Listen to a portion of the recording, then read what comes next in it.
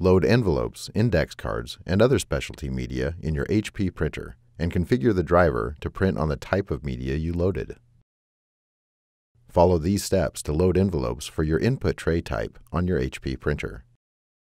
For rear loading printers, lift the input tray to raise it into its locked position.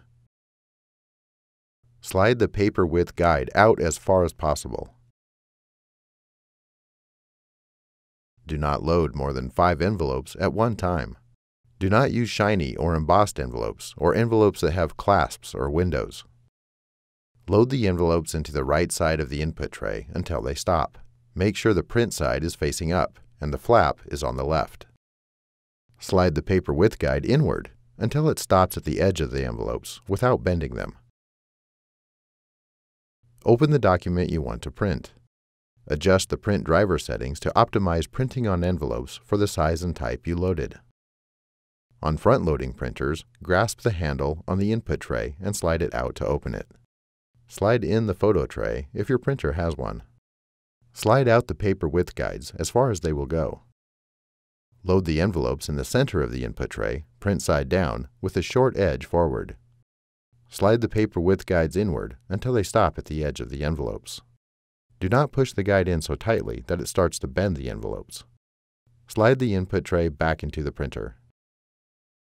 If prompted on your printer control panel, select Modify to change the envelope size and type to match what you loaded in the printer. If the listed settings match the envelopes loaded, touch OK. Open the document you want to print.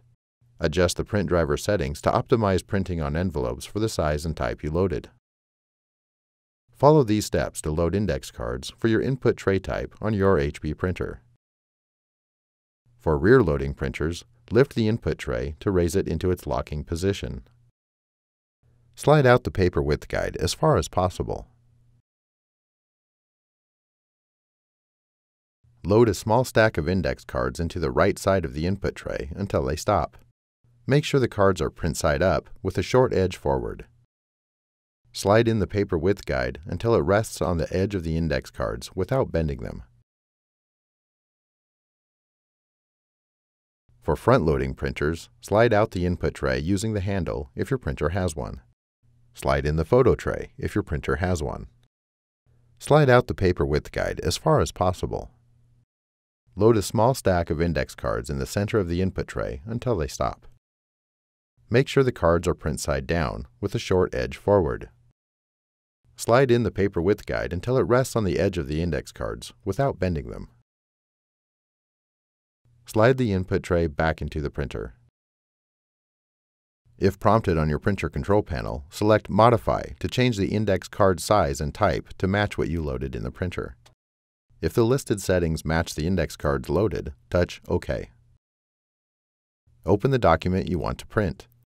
Adjust the print driver settings to optimize printing on index cards for the size and type you loaded.